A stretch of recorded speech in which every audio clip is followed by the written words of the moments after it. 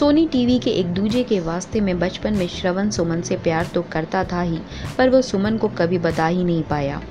एक बार श्रवण ने कोशिश ज़रूर की थी, पर उसकी कोशिश असफल रही, जिसके बाद वो लंदन हमेशा हमेशा के लिए चला गया। पर अब वो बड़ा होकर वापस लौट आया है। सुमन और श्रवण के बीच चीज़ें सॉल्व हो रही थी, और दोनों अच्छे दोस्त भी बन गए थे। पर एक बार फिर कोई मुसीबत आई, और दोनों अलग हो गए। सुमन ने तो यहाँ तक फैसला लिया कि अब वो श्रवण के किसी भी मामले में इंटरफेयर नहीं करेगी और अब उनके बीच चीज़ें और बिगड़ जाएगी।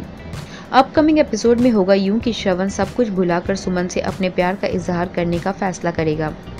श्रवण सुमन को अपने प्यार के बारे में बताने के लिए तिवारी किला पहुंचेगा। वेल श्रवण आया तो होगा किसी और मकसद से, पर उसे वहाँ अपनी माँ निर्मला मिल जाएगी। तिवारी किला में श्रवण अपनी माँ से मिल बैठेगा।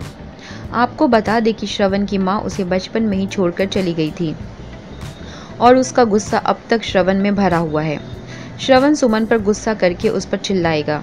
श्रवण को लगेगा कि सुमन निर्मला को अपने घर में रखकर उसे धोखा दे रही है।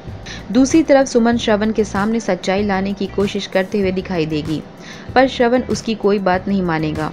श्रवण और सुमन के बीच रिश्ते और भी खराब हो जाएँगे। उसके बाद सुमन ठान लेगी कि वो श्रवण को उसके माँ से मिलवा कर ही रहेगी।